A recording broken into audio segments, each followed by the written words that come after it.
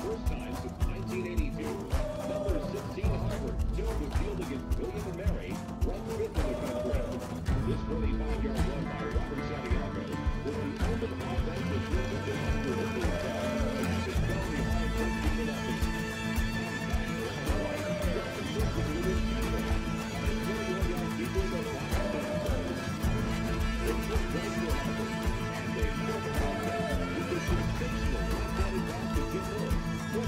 However,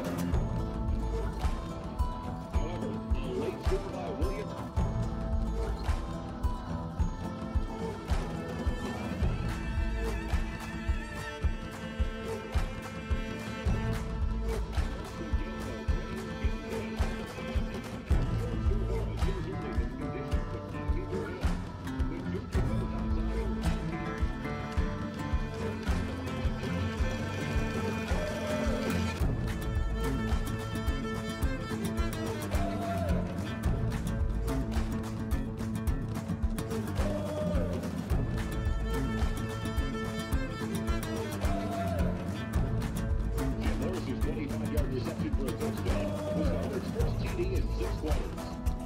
could not picked an altitude time to throw a fourth touchdown pass